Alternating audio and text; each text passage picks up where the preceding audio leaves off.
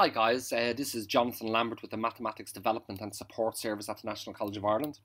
Uh, and this short video is going to detail how to generate a sequence of uniformly distributed random numbers, maybe I should spell that again, yeah, uniformly distributed random numbers uh, in Excel. And the way we're going to do that is we're going to use a data analysis tool pack to generate uh, this sequence of random numbers. Okay. Now the important thing here to keep in mind is that what we're going to generate is a sequence of uniformly distributed random numbers. What that basically means is this, is that we're going to provide a range of numbers. We're going to provide a lower bound, let's say 10, an upper bound, let's say 20. And what we'd like Excel to do is to generate a sequence of numbers, let's say let's say 23 numbers uh, between 10 and 20 uh, where each particular outcome is as likely to happen as any other outcome within that range. In other words, that the probability of generating a particular number is going to be the same right across that particular range of values. In other words, we're going to generate numbers based off a uniform distribution, which means that each number is as equally likely to occur as any other number in the range. Okay, now, uh, I'm using Excel 2016 here on the MacBook Air. Uh, Excel 2016 on the MacBook Air is the only package, it's, it's the only version of Excel that actually comes, comes with the data analysis tool pack. Uh, if you're using Excel on Windows, it doesn't matter which version of Excel you're using on Windows, they all come packaged with the data analysis tool pack. Uh, so in this particular case here, we want to generate uniformly distributed random numbers. So what I'm going to do is I'm going to go to the data ribbon you can see all the ribbons are listed across here. I'm going to choose the data ribbon.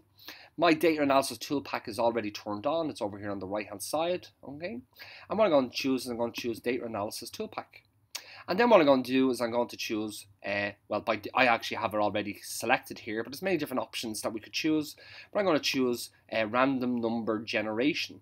So I'm going to choose random number generation. Let me just get rid of these particular values here because I'm going to talk through these now in a second. Okay, we get rid of these values.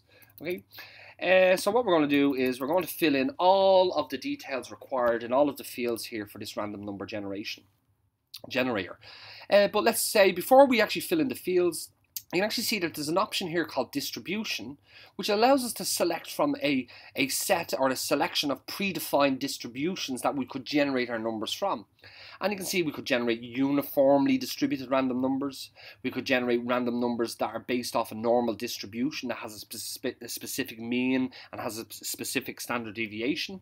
Uh, we could generate Bernoulli uh, random numbers, binomial random numbers, numbers based off of Poisson distribution, numbers uh, that follow a particular pattern, or we could even generate a list of discrete random numbers where each number, each discrete number has a different probability of occurring uh, compared to other numbers. But what we're going to concentrate on in this video is uniformly generated random numbers.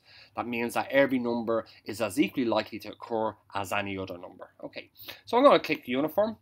And then what we need to do is we need to specify how many variables, how many lists of random numbers would I like to generate?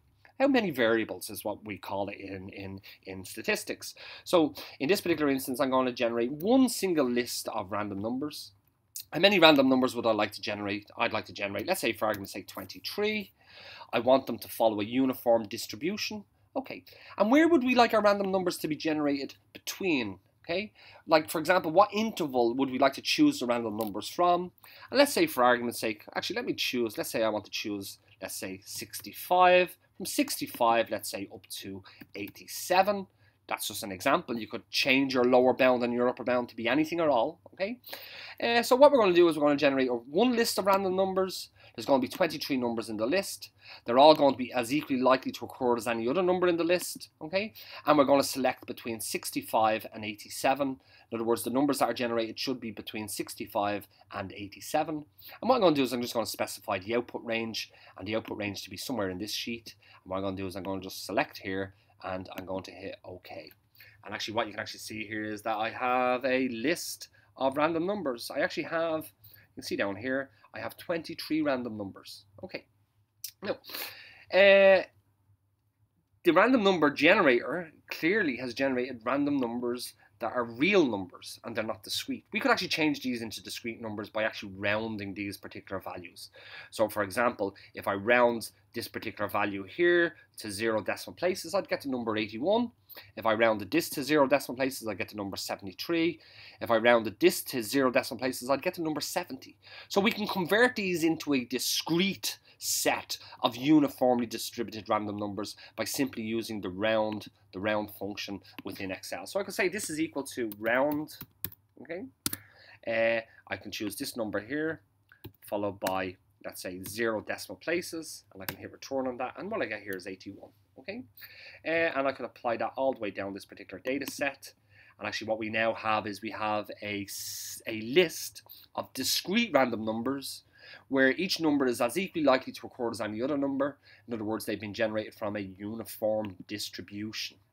Okay, guys, uh, I hope this video was somewhat in some in some way intuitive and explained how to how to generate random numbers within within Excel. The next video is going to deal with how to generate a set of normally distributed random numbers. So maybe you can actually keep an eye out for that video. So once again, guys, this was Jonathan Lambert with the Mathematics Development and Support Service at the National College of Ireland. And I hope this video uh, was somewhat helpful and intuitive. So thank you.